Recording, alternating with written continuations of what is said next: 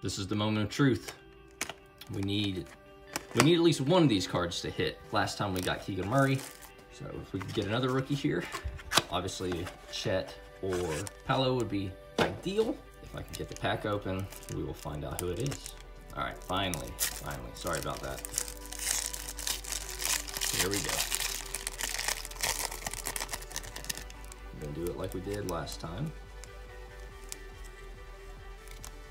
Rudy Gobert, number three out of eight.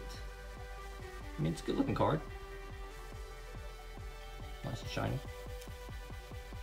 Looks way better than the Flux and the Illusions lucky envelopes that I'd opened.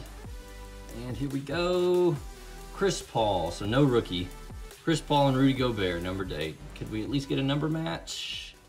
Nope, seven out of eight.